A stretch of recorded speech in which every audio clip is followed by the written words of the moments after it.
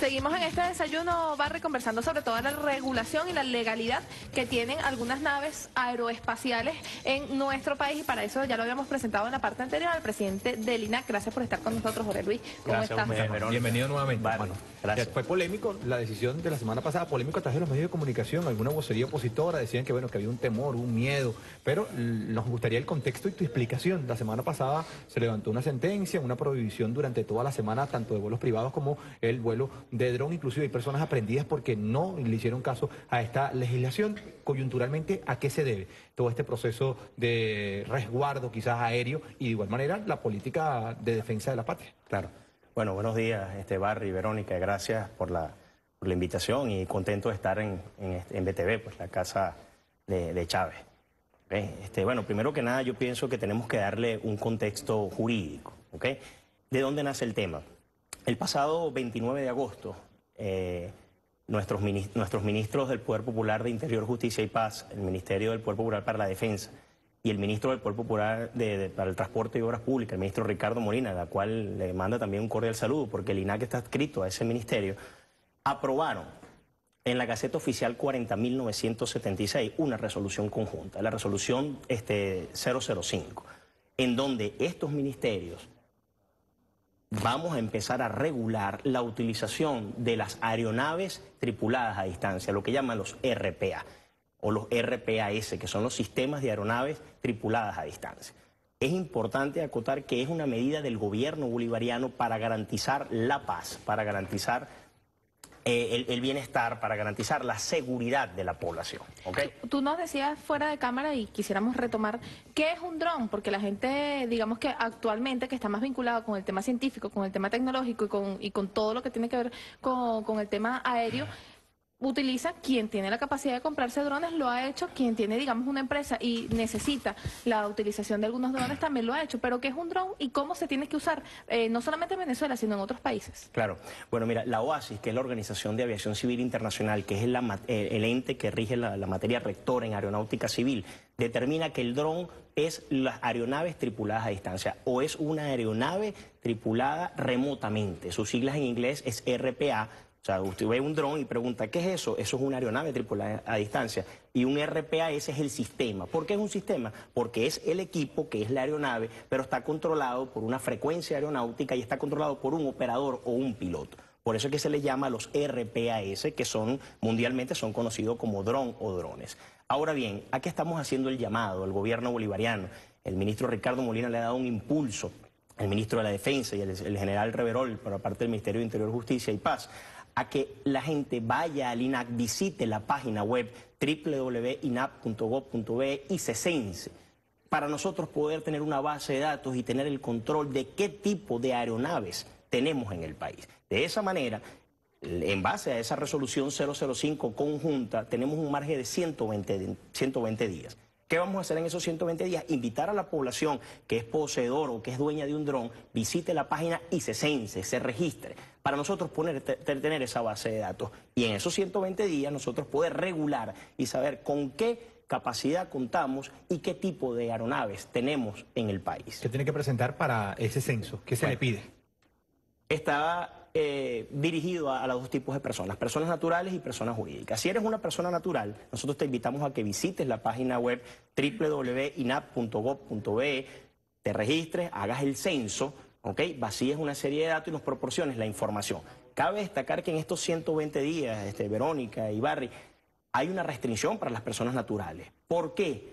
Porque nosotros tenemos que crear la cultura que el, la aeronave tripulada a distancia no es un juguete, es una aeronave. La, la, OASI la determinó así, es una aeronave. Y como aeronave tiene que estar regulada por las regulaciones aeronáuticas venezolanas. Entonces, si eres persona natural, cénsate y en estos 120 días vamos a dirigir una campaña educativa de decir, una mala utilización de un dron puede generar como consecuencia un accidente. Entonces, los drones, desde el punto de vista de seguridad operacional, tienen limitaciones para operarlo en zonas pobladas, en, zonas donde hay edificaciones, en zonas de aproximación de aeropuertos o, de helipuertos. E incluso puede generar un accidente aéreo. Estos aparatos y estos equipos tienen capacidades de volar a, unas altitudes por encima de los 150 metros de altura. Entonces imagínate que un niño, imagínate que un operador esté cerca de un aeropuerto, pero un dron y ocasione un accidente o alguna interferencia puede generar incluso interferencias en las radiofrecuencias aeronáuticas. Entonces, por eso es que eh, eh, la, la, campaña es dirigida a concientizar de que si eres dueño de un dron o de un RPA, debes estar regulado por la autoridad aeronáutica. Si eres persona jurídica y vas a realizar algún trabajo aéreo en el marco de estos 120 días, una vez que salió la, Gaceta Oficial, bueno, debes dirigirte al INAC, consignar unos requisitos que son básicos, fundamentales, el comprobante de inscripción del censo, porque tienes que censarte obligatoriamente, eh, presentar la solicitud ante la autoridad aeronáutica, este, llenar una planilla de evaluación de riesgo operacional, es decir, dónde vas a hacer el trabajo aéreo, por qué lo vas a hacer, con qué finalidad. Igual debes consignar el RIF, el Registro de Información Fiscal, unos pagos de derechos aeronáuticos a las cuentas del INAC y entonces el INAC te va a otorgar un permiso operacional para ese trabajo aéreo específico. No por una fecha particular sino, o coyuntural, sino simplemente para el trabajo que se vaya a realizar. Para el trabajo, es decir... No es un permiso permanente. No es un permiso cada, permanente. Cada trabajo amerita un, permiso. Cada trabajo amerita un permiso. Si tú eres eh, una, una, tienes una compañía de eventos, eh, Barry, y a ti te llaman y te dicen, mira, yo quiero que tú agarres, vamos a firmar un video con un dron o con un RPA en los médanos de coro. Bueno, tú debes acudir como, como persona jurídica, censarte y acudir al INAC, cumplir con estos requisitos, que son cuatro o cinco requisitos que estamos exigiendo básicos. Nosotros vamos a analizar qué vas a hacer con tu RPA y te vamos a otorgar un permiso provisional un permiso provisional para que tú operes para ese trabajo aéreo. Si en el lapso de esos 120 días necesitas hacer otro trabajo aéreo, vuelves a acudir a la autoridad aeronáutica para volver a solicitar. Ahora, ¿y cuáles son las solicitudes para quienes operen en eh, esa, esa nave? Es decir, ¿cualquier persona puede agarrarlo y operarlo o tiene que también cumplir una permisología? Tiene que cumplir una permisología. Nosotros tenemos incluso todas las regulaciones aeronáuticas, Verónica, tienen que ser objeto de una evaluación médica, una evaluación psicológica, porque nosotros tenemos que regular quién está operando el dron. Alguien me decía, por ejemplo, en estos días, este, mira, pero ¿por qué Venezuela qué casualidad que lo está haciendo ahorita? Y le digo, no, este, en los escenarios internacionales, ahorita, en, en, el mes de septiembre, viene la Asamblea General de la OASI, donde participan todos los países que pagamos una membresía y estamos adscritos a eso. Bueno, y ahí hay una nota de estudio del tema de los RPA. O sea, ya es algo que está globalizado. Colombia, Brasil, Argentina, Chile, la misma Estados Unidos, todas tienen regulaciones aeronáuticas o están comenzando a trabajar en eso porque le estamos dando otro matriz este, en las autoridades aeronáuticas mundiales de que no es un juguete, es una aeronave. Y que mm, obedece también a, a esta coyuntura política, recapitulando que nos decías por qué hacerlo ahora porque en el mes de septiembre, porque en esa semana que la oposición llamaba como crucial en torno político. ¿Está vinculado eso también el tema violento, el tema de los atentados de golpe de Estado que han anunciado algunos efectivos de seguridad? Bueno, claro, e, evidentemente, este Barry, porque si tenemos algunos personajes que quieren utilizar un RPA en una concentración, este, que ellos mismos llaman de que, de que va mucha gente y que están conglomerados, puede ocasionar un accidente aéreo puede ocasionar un accidente a una población. ¿Qué tal si interrumpe la frecuencia aeronáutica con que ese operador vuela ese RPA o ese llamado dron y ese dron se cae? ¿Quiénes van a pagar las consecuencias? Entonces, después van a decir que el gobierno es irresponsable. Entonces, no, estamos dándole la cara al pueblo y por eso el llamado, insisto, a esta campaña de divulgación que está impulsando el ministro Ricardo Molina, el ministro de Interior Justicia, el general Reverol y el general en jefe este padrino es impulsar a que tienes que acudir al censo. Ahora bien, hay otro aspecto importante. Una vez que la autoridad aeronáutica te da ese permiso provisional, entonces eso se articula con el CODAI, con el Ministerio de la Defensa, para que sepan cuáles son los RPA o los drones que están autorizados y cuáles no son los que están autorizados. Para hablar de eso, exacto. después de la pausa. Después de la pausa. Eso lo dan después de que culmine el censo, ¿cierto? Correcto. Vamos a una pausa, ya volvemos más con Jorge Luis Montenegro, presidente del INAC.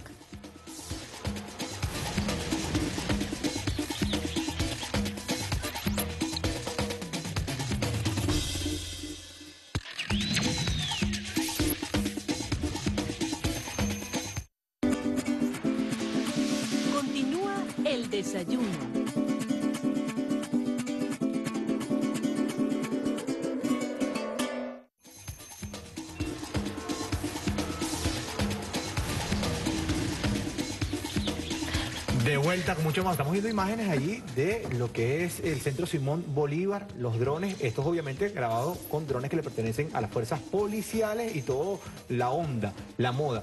Ministro, y ministro, perdón, el director del INAC nos estaba comentando algunas permisologías que se tienen que levantar para conocer todo este censo en torno a qué tenemos, qué se cuenta, pero viendo la realidad internacional, el mercado en Venezuela, cómo se ha movido, eh, siendo quizá un poco especulativo, ¿qué se puede contar en Venezuela? Hay más, son más los recreativos, son más los que tienen los privados, eh, hay un dron, quizás un modelo específico, el cual lo quieren los terceros sin muchos permisos a nivel internacional. ¿Cómo es el tema de la importación de los drones y la venta acá en nuestro país? Sí, eh, bueno, Barry, como te comentaba hace rato, para eso es el llamado al censo. El llamado al censo es para que todo aquel poseedor o dueño de un RPA acuda a la página del INAC y se suscriba y ponga sus datos, qué tipo de aeronave tiene, porque quiero recalcar que el dron no es un juguete, es una aeronave y por lo tanto tiene que ser regulada por la autoridad aeronáutica, por el ministerio correspondiente. Entonces, eh, pueden haber muchos tipos de drones. Eh, hemos incluso articulado con los organismos correspondientes a la importación y, bueno, sí, han entrado al país cualquier cantidad de este tipo de, equipos, este tipo de aeronaves, pero para eso es el censo. El llamado es visita la página www.inap.gov.be y vacía ahí tus datos para saber qué equipo tenemos, para nosotros poder adaptar la regulación de acuerdo a esa base de datos. Ahora, son 120 días de censo como tal que ustedes van a tener eh, durante todas estas semanas, pero ¿qué va a ocurrir después? Una vez haya concluido el censo, ¿cuál va a ser el análisis que se va a hacer desde el INAC y desde el Ministerio? Y, por supuesto, ¿cómo va a iniciar es el tema de, la permisología para tanto las personas naturales como las jurídicas? Correcto, Verónica. Bueno, una vez que, pasen estos 120 días, una, eh, promulgada la, Gaceta Oficial, donde sale la resolución conjunta, que las personas naturales acudan a, este llamado que le estamos haciendo de censarse, tanto las personas naturales como las personas jurídicas, nosotros hacemos el levantamiento de esta información y vamos a empezar a regular con una regulación aeronáutica venezolana. Articulado, por supuesto, con el Ministerio de la Defensa y con el Ministerio de Interior, Justicia y Paz. Ahora bien, ¿qué va a pasar después de estos 120 días? Bueno, va a haber un llamado para todo aquel poseedor o dueño de un RPA natural o jurídico para que vaya al registro aeronáutico nacional. ¿Qué pasa en el registro aeronáutico nacional? Usted va a inscribir su aeronave. Es como que si tú compraras un Citation o compraras un avión y tienes que ir al registro aeronáutico nacional. Bueno, si eres dueño de un RPA, tienes que ir al registro aeronáutico nacional después de estos 120 días. Ahí nosotros, la autoridad aeronáutica, le vamos a otorgar ya no un permiso provisional, como es como el caso de, que si necesitas hacer un trabajo aéreo en estos 120 días, sino que le vamos a entregar ya un certificado electrónico y ese certificado conlleva un estudio de aeronavegabilidad y una licencia para el piloto y el operador del dron o del RPA. Es decir, que tiene que someterse a un, examen médico aeronáutico para poder otorgarte la licencia. Es como cuando tú vas al INTTT y sacas una licencia, para, tienes que someterte a, a un examen igualito. Los pilotos se someten a un examen a través de medicina aeronáutica, se le hace la evaluación y se le otorga la licencia. Y la aeronave, el RPA, va a tener un certificado de aeronavegabilidad. Es a partir de ese momento cuando los usuarios y los dueños de los RPA o de los drones van a poder utilizarlo bajo la regulación aérea venezolana. ¿Qué pasa si en estos 120 días que está restringido las personas naturales lo utilizan? ¿Cómo ustedes pueden detectar que alguien esté utilizando un dron eh, durante estas semanas? Ah, bueno, mira, están desplegados, vuelvo y te repito, es una resolución conjunta con el, Ministerio del Poder Popular de Interior, Justicia y Paz y el Ministerio de la Defensa. Estamos articulados, está el CODAI, está el SEBIN, están todos los organismos de inteligencia del Estado, más la Autoridad Aeronáutica, CONATEL, que es el que otorga la frecuencia para que ese, eh, eh, ese RPA pueda operar y estamos todo el gobierno nacional articulado para levantar la información. El llamado es que evita la sanción, evita la sanción. Si tienes un RPA y eres un dueño, participa en el censo, pero evita la sanción en estos 120 días porque necesitamos crear la base de datos para poder eh, formalizar la regulación aérea venezolana. Tú dices, Montenegro, que no es un juguete, pero muchas personas lo ven así. ¿Y con qué decirle, qué reflexión hacerle a esa persona que ahora tiene que esperar 120 días, que quizás lo, se lo llevaba para la playa, se lo llevaba en la organización, con los niños, el uso que le quería dar, para ello adquirió el dron, bien sea banal o no? ¿Qué mensaje, qué reflexión hay que hacerle? Porque ahora tiene que esperar 120 días que surja toda esta regulación para poder hacer uso del mismo. Mira, el, mensaje que, que yo le puedo dar como autoridad aeronáutica es crear conciencia, tenemos que crear conciencia porque puedes ocasionar un daño a un tercero. A las personas jurídicas, dentro de los requisitos que le estamos exigiendo, es una póliza de responsabilidad civil, porque si tú vas a hacer un trabajo aéreo y vas a grabar como te dije, los médanos de coro, vas a grabar un videoclips o vas a cubrir un evento público, tú vas a tener un permiso provisional. Pero si tú eres una persona natural y no tienes ningún tipo de permiso, y no tienes el conocimiento de cómo operar esa aeronave, porque tenemos que recordar que es una aeronave pilotada a distancia, puedes ocasionar un daño a tercero. Entonces, evitemos, evitemos este tipo de situaciones. Y vuelvo y te repito, Barry, este, tú vas a otros países y, la gente entra dentro de las regulaciones. Ok, entonces tú, a, a, veces la gente va a Estados Unidos y dice, no puedes utilizarlo. Ah, no, sí, qué perfecto es este país.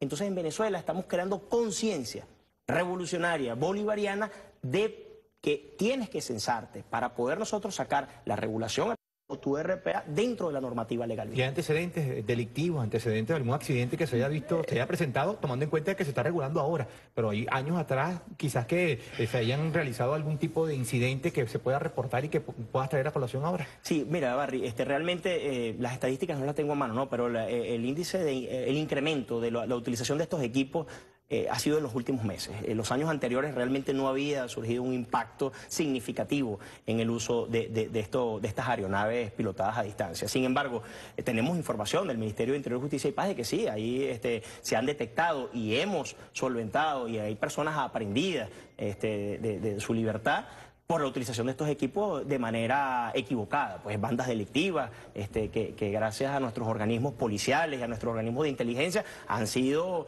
este, agarrados infragantes, pues con la utilización de estos equipos de manera ilegal.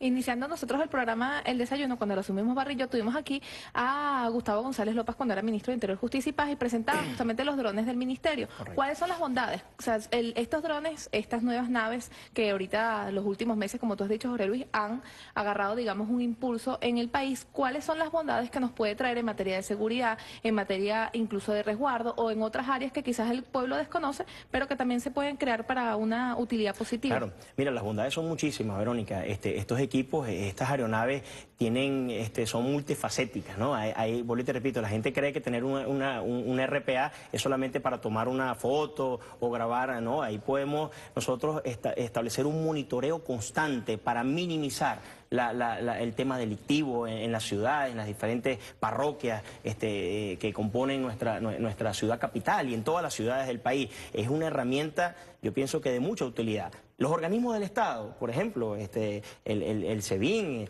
eh, el Ministerio de, de, Poder Popular, Interior, Justicia y Paz, las policías, tienen que acudir al censo. Nosotros le hacemos un llamado como gobierno que somos, que tienen que acudir también al censo, porque eso ya tiene otra, otra connotación, es una visión policial, es una visión de seguridad de Estado. Y en los medios de comunicación, porque se utiliza muchísimo, vemos las imágenes en las transmisiones, no solamente las transmisiones del Estado venezolano, de los canales del Estado, sino los canales privados. ¿Entra también en la misma regulación en la misma si el utilizado para transmisiones televisivas? Así es, Barry. Eh, nosotros no estamos viendo de que es un canal de televisión. Si tú eres dueño de un dron y eres una persona jurídica, tienes que participar en el censo levantamos la información, sacamos la regulación conjuntamente con el Ministerio de la Defensa, el Ministerio de Interior y Justicia, y después de los 120 días si eres persona natural, lo puedes utilizar ya con una certificación de carácter permanente y con una evaluación por parte de la autoridad aeronáutica. No, y es interesante el tema de que tienen que sacarse una licencia porque incluso yo en lo personal no sabía.